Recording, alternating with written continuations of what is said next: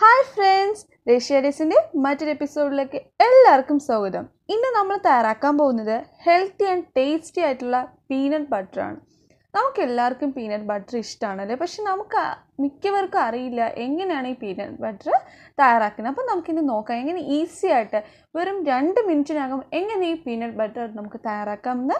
So keep watching hope you like it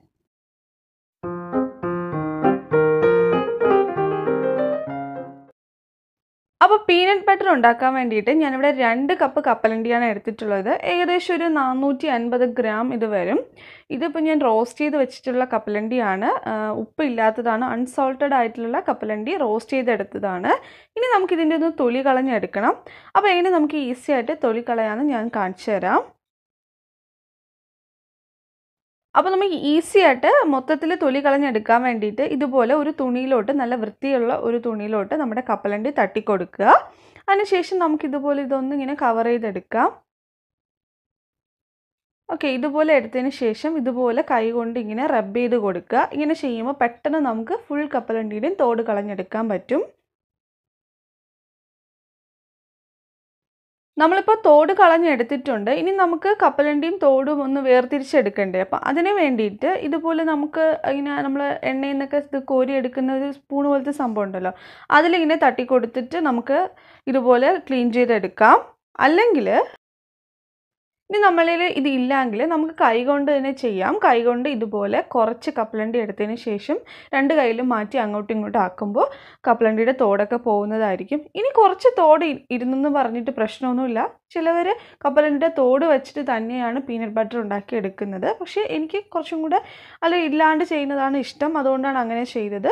അപ്പോൾ ഇതുപോലെ നമുക്ക് തോട് കളഞ്ഞ് ക്ലീൻ ചെയ്തെടുക്കാവുന്നതാണ് ഇനി നമുക്ക് തോടില്ലാത്ത കപ്പലണ്ടി വാങ്ങാൻ കിട്ടുമെങ്കിൽ കുറച്ചും കൂടി ഈസി ആയിരിക്കും നമുക്ക് ചെയ്യാൻ വേണ്ടിയിട്ട്. അപ്പോൾ കപ്പലണ്ടിയൊക്കെ ഫുൾ ക്ലീൻ ചെയ്തതിന് ശേഷം ഞാൻ മിക്സിയുടെ ചെറിയ ജാറുണ്ടല്ലോ അതിലോട്ട് മാറ്റി അതിനുശേഷം കാൽ ടീസ്പൂൺ ഉപ്പും കൂടെ ആഡ് ചെയ്ത് കൊടുക്കുവാണ്. നമുക്കൊരു ടേസ്റ്റിന് വേണ്ടിയിട്ട്. നിങ്ങൾ അൺസാൾട്ടഡ് ആയിട്ടുള്ള കപ്പലണ്ടിയാണ് യൂസ് ചെയ്തെങ്കിൽ ഉപ്പിടുക. അല്ല ഓൾറെഡി ഉപ്പുള്ളതാണെങ്കിൽ പിന്നെ ഉപ്പിടരുത്. ടേസ്റ്റ് ചെയ്തതിന് ശേഷം ആവശ്യമുണ്ടെങ്കിൽ മാത്രം ഇട്ട് കൊടുക്കുക. അതിനുശേഷം നമുക്കിതൊന്ന് ചെറുതായിട്ട് ഇങ്ങനെ പൾസ് ചെയ്ത് കൊടുക്കാം. അപ്പോൾ പൾസ് ചെയ്ത് കൊടുക്കുമ്പോൾ നമുക്ക് നമ്മുടെ കപ്പലണ്ടി പൊടിഞ്ഞ് കിട്ടും. അപ്പം ഞാൻ മൂന്നാൽ പ്രാവശ്യം ഒന്ന് പൾസ് ചെയ്ത് കൊടുത്തു. ഇനി നമുക്കിതൊന്ന് തുറന്നു നോക്കാം. ഇപ്പോൾ നന്നായിട്ട് പൊടിഞ്ഞ് വന്നിട്ടുണ്ട് കപ്പലണ്ടി. ഇനി നമുക്കിത് വീണ്ടും ഒന്ന് അരയ്ക്കാം. അരയ്ക്കാൻ വേണ്ടിയിട്ട് ഞാൻ ചെയ്യുന്നത് ഫസ്റ്റ് സ്പീഡിലിട്ടിട്ട് ഒരു തേർട്ടി ഫോർട്ടി സെക്കൻഡ്സ് ഒരു ഫോർട്ടി സെക്കൻഡ്സ് നമുക്കിതൊന്ന് അരയ്ക്കാം. ഇപ്പം ഞാനിതൊരു ഫോർട്ടി സെക്കൻഡ്സ് അരച്ചതാണ്. കണ്ടോ? നല്ല തിക്കായി വന്നിട്ടുണ്ട്. ഇനി നമുക്ക് ഒരുക്കി കൂടെ ചെയ്യുമ്പോൾ തന്നെ നമ്മുടെ പീനട്ട് ബട്ടർ റെഡിയായി വരും. ഞാനിപ്പോൾ ടേസ്റ്റിന് വേണ്ടിയിട്ട് ഇതിൽ ഉപ്പ് മാത്രമേ ആഡ് ചെയ്തിട്ടുള്ളൂ. നിങ്ങൾക്ക് വേണം മധുരം വേണമെങ്കിൽ നിങ്ങൾക്ക് ഹെൽത്തി ആയിട്ട് വേണമെങ്കിൽ ശർക്കര ആഡ് ചെയ്യാം. പക്ഷേ അത് ലാസ്റ്റ് ഇപ്പം നമ്മൾ രണ്ടാമത് അടിക്കുന്നില്ലേ? ലാസ്റ്റ് അടിക്കുന്നതിൽ ആഡ് ചെയ്താൽ മതി. ആദ്യമേ ആഡ് ചെയ്യണമെന്നില്ല. ഇതൊക്കെ ടേസ്റ്റൊക്കെ നമ്മുടെ ഇഷ്ടം അനുസരിച്ചിട്ടാണ് നമ്മൾ ചെയ്യേണ്ടത്. അപ്പോൾ ഏകദേശം ഒരു ഫിഫ്റ്റി സെക്കൻഡ്സ് ഞാൻ ഇതൊന്ന് ഗ്രൈൻഡ് ചെയ്തെടുത്തു. ഇനി നമുക്ക് നോക്കാം റെഡി ആയിട്ടുണ്ടോ എന്ന്. അപ്പോൾ നമ്മുടെ പീനട്ട് ബട്ടർ ഓൾമോസ്റ്റ് ആയിട്ടുണ്ട്. നമുക്കിനി കുറച്ച് ഒരിക്കൽ കൂടി ഇതൊന്ന് ഗ്രൈൻഡ് ചെയ്യാം. ഒരു തേർട്ടി സെക്കൻഡ്സും കൂടി ഒന്ന് ഗ്രൈൻഡ് ചെയ്യുമ്പോൾ ഇത് റെഡിയായി കിട്ടും.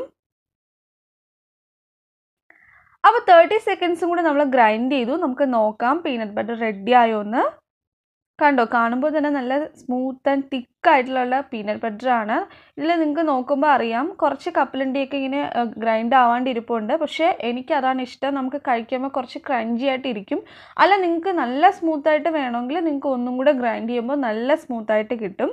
ഇനി നമുക്കിതൊരു ബൗളിലേക്ക് ട്രാൻസ്ഫർ ചെയ്യാം. കാരണം നമ്മളിത് കുറേ പ്രാവശ്യം ഗ്രൈൻഡ് ചെയ്തുകൊണ്ട് ചെറിയ ചൂട് കാണും. അപ്പോൾ ആ ചൂട് മാറിയതിന് ശേഷമേ വേറൊരു കണ്ടെയ്നറിലോട്ട് മാറ്റാവുള്ളൂ. അതുപോലെ നിങ്ങൾ ശ്രദ്ധിക്കേണ്ട ഒരു കാര്യമാണ് നമ്മളിതിങ്ങനെ കുറേ ഗ്രൈൻഡ് ചെയ്യുമ്പോൾ മിക്സി ചൂടാവാനുള്ള ചാൻസ് ഉണ്ട്. അങ്ങനെ ചൂടാവുകയാണെങ്കിൽ നിങ്ങൾ അത് വെയിറ്റ് ചെയ്ത് ചൂട് മാറിയതിന് ശേഷമേ വീണ്ടും ഗ്രൈൻഡ് ചെയ്യാൻ പാടുള്ളൂ.